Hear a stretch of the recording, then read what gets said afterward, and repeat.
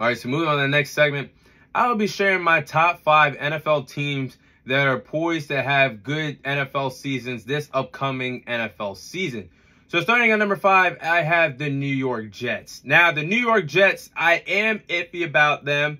And I said weeks ago on the podcast, they, they could have an up and down start to the calendar year 2023. They're starting, uh, their first few games is pretty rough to start off the season. And as I speak today, they have the sixth hardest schedule in the NFL this upcoming NFL season. So this team, it's it's updated, it's fresh, it's a, something new for NFL fans to look at. New York Jets fans finally have something to look forward to after a decade of disappointments, of butt fumbles, uh, Mac, uh, Mark Sanchez, uh, Rex Ryan. Uh, good, good things be, could be coming on the way for the New York Jets, but they do have the sixth hardest schedule in the NFL. They got to play the Buffalo Bills twice. You're going to see Josh Allen and company because they're in your division. You're going to play them twice a year. Uh, they had the Dallas Cowboys on their division. I think that's going to be a tough toe-to-toe game between those two teams. You got to play Patrick Mahomes and the Kansas City Chiefs, who are the reigning defending Super Bowl champions. Uh, a possibly improved Denver Broncos team who could want to really go at you guys come week five after the comments that Sean Payton had for Nathaniel Hackett, former head coach of the Denver Broncos, now offensive coordinator of the New York Jets. And Aaron Rodgers threatening Sean Payton. Do not talk down bad on my coaches. So that could be a fiery matchup come week five. Uh, you got to play the Philadelphia Eagles, the reigning defending NFC champions. You got to play the other team in New York, the New York Giants. You got to play the Los Angeles Chargers, Justin Herbert and company. You got to play the Miami Dolphins twice as well. That's in your division. So the Jets could be going through some up and downs in the season, but I do believe that bright days, good days are on the way for this franchise. If they went 7 and 10 last year with Zach Wilson, Joe Flacco, and Mike White at the quarterback position, all three of those guys being uh, uh, getting their own time at the, the play for the Jets last year because all three of these guys went through injuries. The Jets were going through a carousel of quarterbacks last year, but still managed to go 7 and 10 despite that, and despite losing their running back, Breece Hall. So, and now you add Aaron Rodgers to this young roster, an all-time great, a future NFL Hall of Famer, one of the best to do it at the quarterback position, to this talented roster. And during the offseason, they also signed Allen Lazard, someone who has – a connection with Aaron Rodgers. They add a speed demon and Mecole Hardman. And you also add someone that is very comfortable with Aaron Rodgers and Randall Cobb all to this offense. And you get Breece Hall back from a torn ACL. I think, and the offensive line is improved with that scout defense uh, led by Sauce Gardner. I do believe that this New York Jets team is going to be a team to be reckoned with in the AFC this year.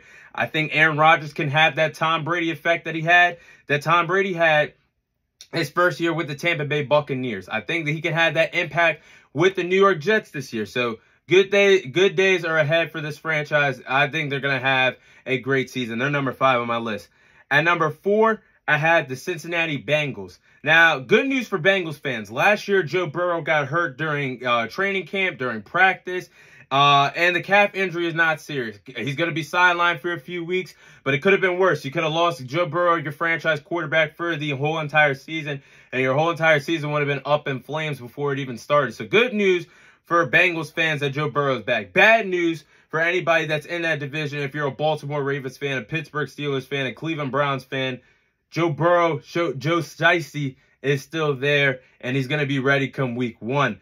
But I do believe that the Bengals will have a good year, despite the fact that their offense is still there. Their offensive playmakers is still there. You still have Joe Burrow at the quarterback position. You still have Joe Mixon at the running back position. You still have Ja'Marr Chase, your franchise wide receiver, still out there. Uh, still tag team along with Tee Higgins and Tyler Boyd uh, three threat, uh, a, tr a trio threat at the wide receiver position that has given a lot of defenses trouble over the years, still will be together. And they also upgraded their offensive line by getting Orlando Brown during the NFL offseason to uh, beef up the offensive line. So that was a great up, uh, upgrade as well. But got to address the elephant in the room. Their defense did lose both of their starting safeties, Jessie Bates and Vonn Bell, during NFL during the NFL offseason. Both safeties went on elsewhere to sign with new teams. So the during the NFL draft, they were they drafted their replacements. Uh, they drafted safety Jordan Battle from Alabama, who I do believe was one of the best safeties in college football last season. So I do believe that that's going to be a good. Uh, he's going to be a good player for the Cincinnati Bengals. Then they also drafted DJ Turner, uh, cornerback from Michigan, who is a solid cornerback as well. So I understand this team lost some defensive depth. I do believe they're going to have a good season. The Cincinnati Bengals are number four on my list. Then at number three, I have the San Francisco 49ers. And as a Cowboys fan, they give me nightmares to this day because right now they are our kryptonite in the NFL. I have to give to the San Francisco 49ers. They honestly do have the overall best roster in the National Football League. They are stacked from top to bottom. You name it, running back Christian McCaffrey. Wide receivers, they have Deebo Samuel, Brandon Aiyuk. Uh, offensive line is great as well, led by Trent Williams. Tight end got one of the best in the game in George Kittle. Defensively, they got Nick Bosa as an edge rusher. Uh, they got Fred Wagner, uh, who uh, Fred Warner, excuse me, who is one of the best linebackers in the game. This defense is always scary to play against, and led by their offensive genius, their offensive mastermind, their head coach, and Kyle Shanahan they are going to be a threat again in the NFL this year. And they could possibly have Brock Purdy back on the field by week one, which is huge for someone who was Mr. Irrelevant, the final pick in the 2022 NFL draft, went 7 and 1 as a starter, went all the way to the NFC Championship game. That's huge. And he's cleared to practice. They could truly, truly have him back by week one. That is good news for the San Francisco 49ers. bad news as a Dallas Cowboys fan. But with the offensive, uh, with the offense full of weapons and the defense that hardly surrenders points, I do believe that they will be back to having a dominant season. The 49ers are number three on my list.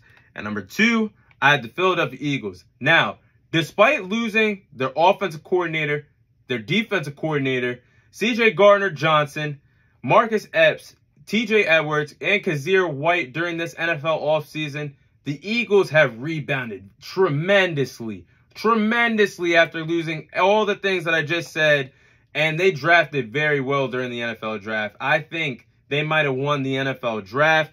Um, they had outstanding selections in the first round pick. What Howie, uh, Howie, uh, Roseman is doing should be illegal. Going to get Jalen Carter ninth overall, someone that should have been a top five pick. Absolute steal. Then you double dip and get back in uh, with your with your own first round pick. You select Nolan Smith. You uh, you form up those former Bulldogs with teammates of Nakobe Dean and Jordan Davis.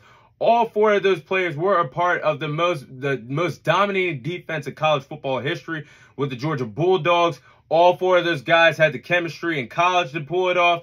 They're going to do it all together in the NFL. This is just nasty. Howie Roseman, how do, how do you get away with this? And they still have one of the best offensive lines in football.